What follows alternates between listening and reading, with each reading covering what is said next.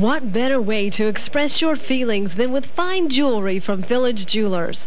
Paris has trusted Village Jewelers since 1976 to provide the finest quality and the best price the market will allow.